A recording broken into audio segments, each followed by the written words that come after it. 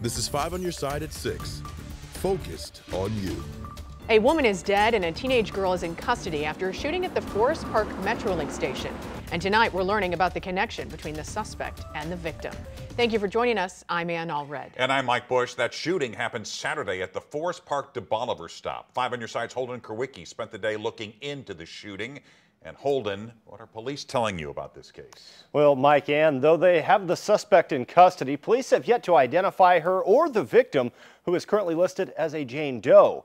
However, they told me in the past year there have been 257 calls for service at that location, and about a third of which were called in by officers. And people that live in the area told me something simply needs to change.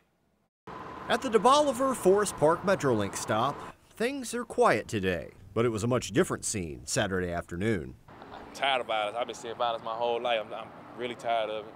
Lost a lot of friends in the streets of St. Louis. True, who asked not to be shown on camera, says the shooting that left a woman dead and a 17 year old in custody hits close to home because he knew both women. But they was friends once upon a time, and they actually got into it over uh, some clothes. Whether it's a 17 year old or a 37 year old, it's a tragedy um, something we see all too much of in St. Louis these days. Um, and unfortunately, we're seeing it more amongst juveniles. The 17 year old suspect is currently facing charges of second degree murder and armed criminal action.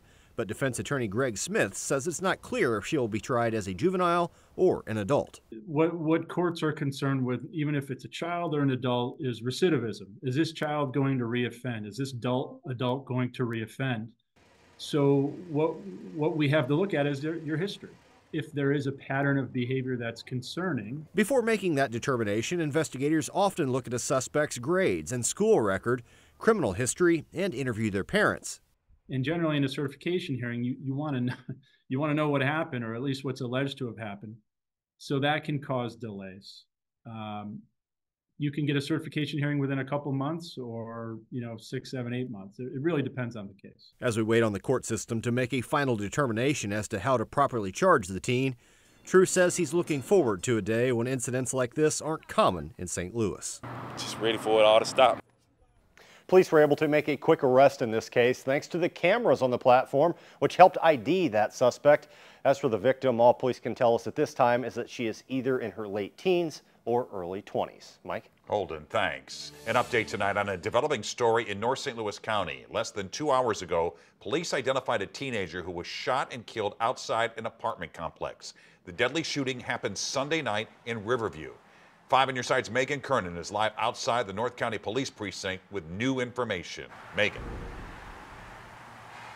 Mike, that teenager has been identified as 15 year old Corian Edwards. He was one of four teens shot around 10 last night. Another teenager was critically injured, while two others were sent to the hospital with non life threatening injuries. Today, I spoke with people in the neighborhood who say they want to see this violence end. On Mother's Day, rounds of gunfire erupted outside of the Jati apartment complex on Tully Lane in Riverview. When police arrived, an officer found four teenage boys shot in the street. Their ages range from 15 to 17 years old.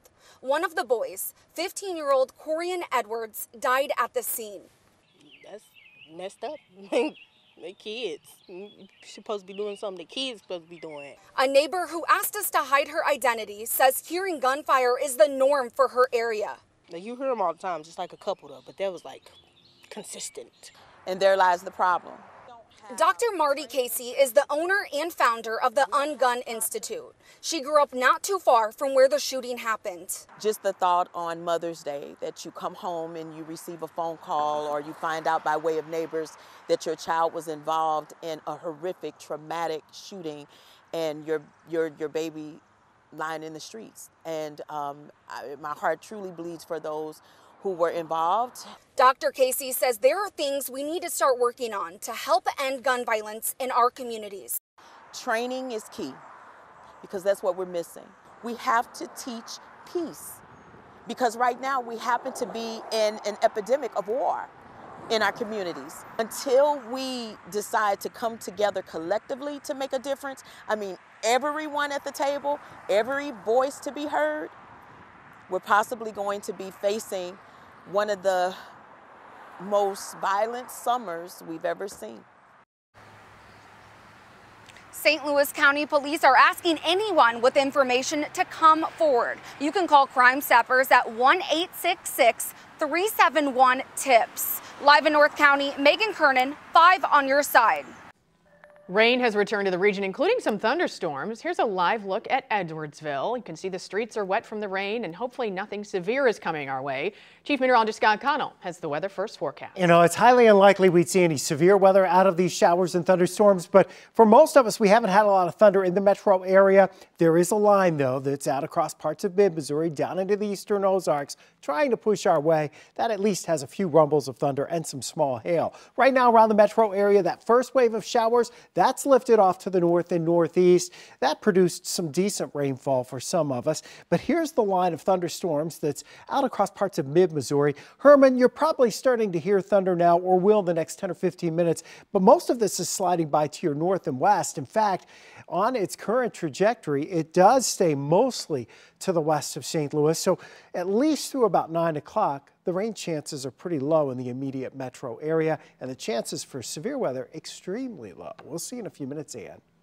Survivors of physical and sexual abuse want Missouri Attorney General Andrew Bailey to launch a statewide investigation into unlicensed religious boarding homes. Our political editor, Mark Maxwell, met with some of them as they tried to lobby the Attorney General outside his office. Mark? Mike and Ann, adults who suffered physical or sexual abuse as teenagers at religious boarding schools in Missouri told horrific tales of the ways they were brought to Missouri.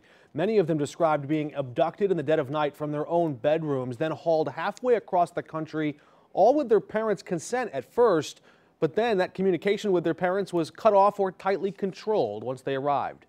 People have been charged, but nothing's being done. No one's in jail. No one is being held accountable for this. She's talking about Agape Boarding School, the place her parents worked before they branched out to launch the Circle of Hope.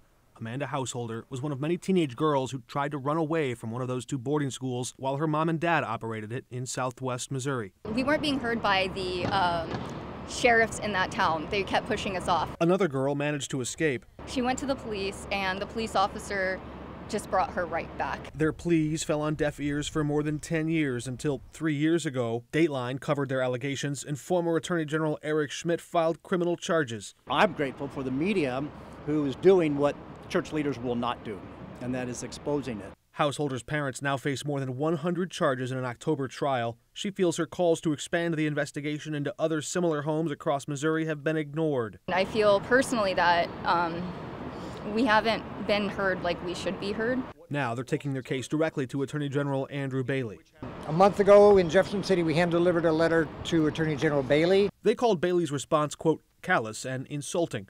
One month later, they tried again at his office in St. Louis. We were denied uh, entrance into the building, and we were told by security that they won't even take a letter.